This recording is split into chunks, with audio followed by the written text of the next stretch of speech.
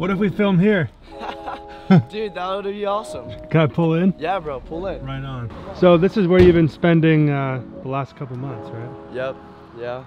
Two and a half months I've been here. You know, I've never seen you without your journal. Yeah? Yeah. Come on. this is what God says to me, so I think it's pretty important to write that down, you know? I love it. What about the backyard? Yeah. Let's do that. That's where I'll shoot all of my videos. Well, trying to think if we could go. So we're not on, on my property. We're we don't um, connect to the water, but there's a little outlet over there. You could shoot it over there. did? Yeah. Come Yeah, on. let's do it. So this is where I grew up. Like I used to play in this field behind me, just play football with like 30 kids. I'll drop my camera in the sewer. The water. All right, Well then you hold it. You hold it, bro. I don't. so this is cool. This is like Thailand.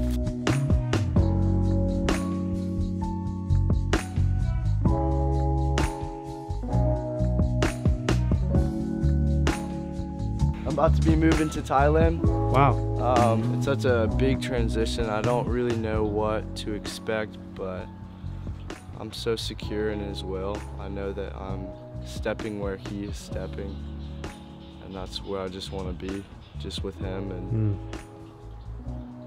just see where His heart is with the kids and everything. They're, um, man, they just got so attached to me, and they're just like waiting for me. You were there for what, like six months or something like that? Yeah. Or no, half the time you were. So yeah, so the the last trip I was Brazil. there, I was in Rio de Janeiro for four months, yeah.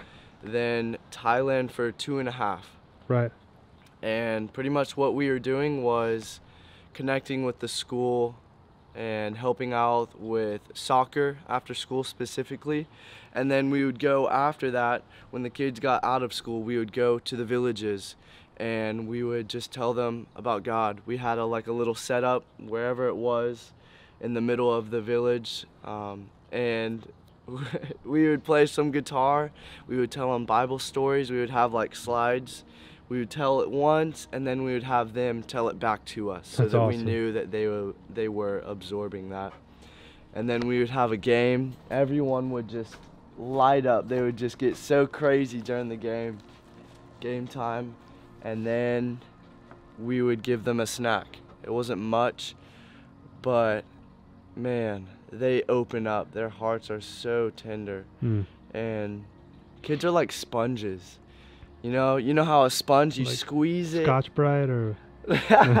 Whatever water is around them, they soak it up. That living water they're soaking up, and that's what we want to awesome. pour out into them. So you plan to to move there? I plan to move there. That's what God spoke to me very softly to move there. And Very softly. Explain that. I so when it started out with Brazil, all I said was where.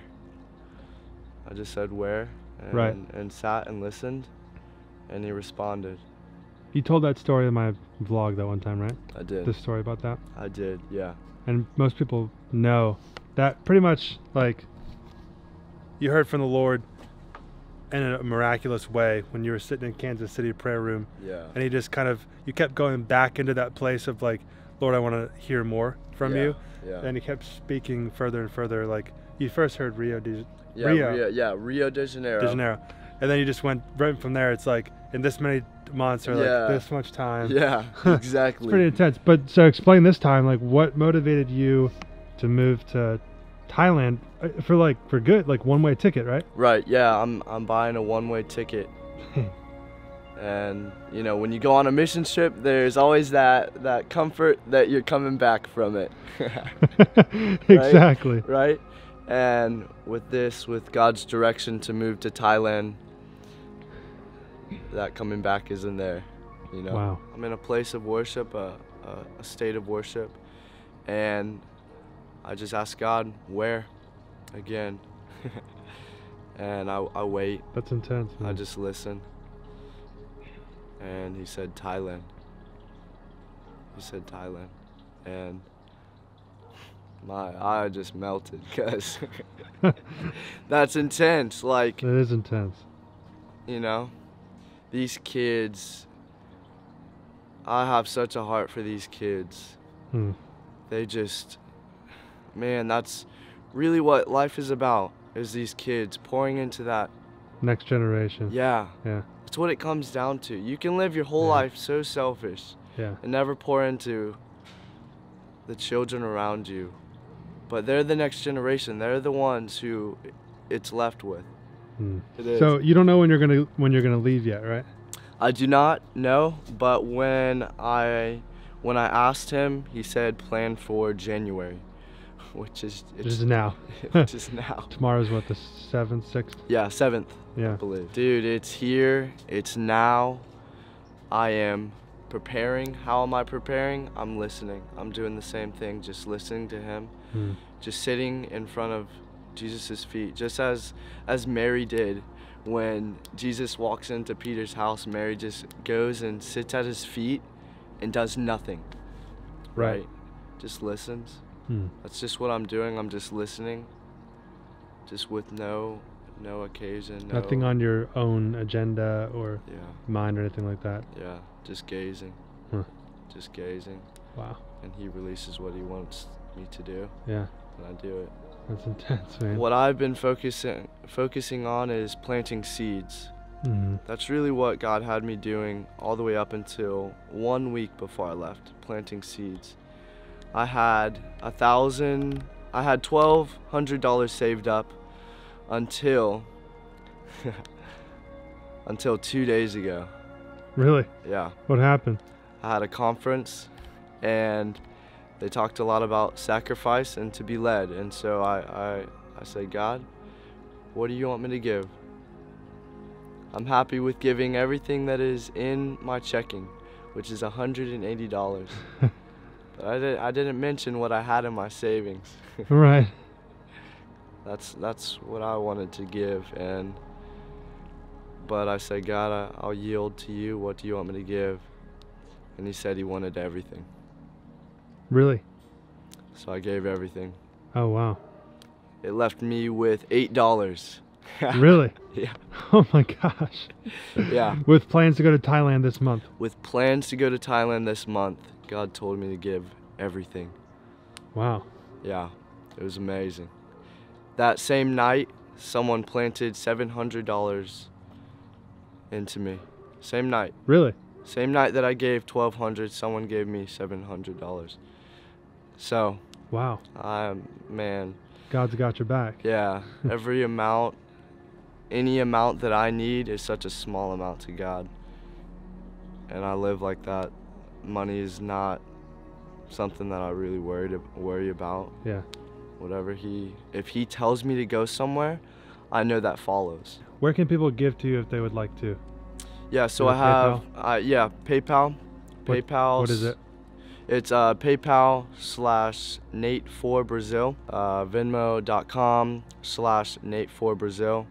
I also have Cash App, which is um, money sign Nate for Thailand. So it's kind of transition. It's urgent, and I have no idea when I'm leaving, but I know it's this month. So the the days are counting down, and yeah, dude. Wow. Yeah. So you'd like to leave, what, like third, third or fourth week of January, if possible? Yeah. And how? And a flight is about a thousand dollars. Yeah, it's about a, thousand dollars. It, it really varies, and God will move the cost. Really. Yeah. Uh, testimony in when I was in Brazil, uh, planning to go to Thailand. We were looking at uh, costs for the flight. It was a team of eight, Mm-hmm. and it was going to cost us around fifteen thousand dollars for all of us to fly round trip. Mm. Right. We were looking at prices. We found one, but it fell through. It didn't happen.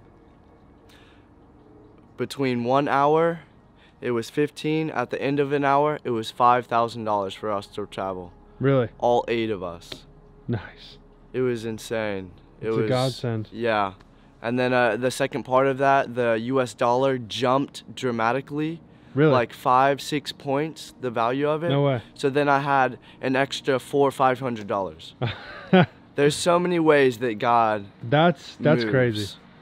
Yeah. That's like a thing from heaven, straight up. Like, Really, really, we were so amazed, dude. so amazed by that. Yeah. Just how his kingdom come.